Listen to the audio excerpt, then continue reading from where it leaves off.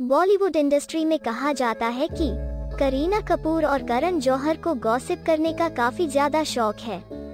कई स्टॉर्स अक्सर ये बात कहते हुए नज़र आ चुके हैं कि दोनों को ही बॉलीवुड में खबरों को इधर से उधर करने में काफ़ी मज़ा आता है।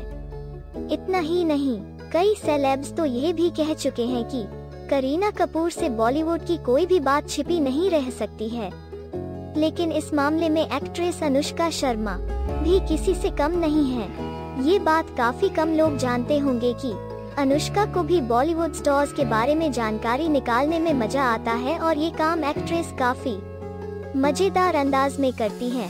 अनुष्का शर्मा ने एक चैट शो में बताया था कि वो पार्टीज़ में टल्ली होने का नाटक करती हैं और फिर वो लोगों से अंदर के राज पता करती हैं। इस दौरान वो ये भी पता करती हैं कि लोग उनके बारे में क्या कहते हैं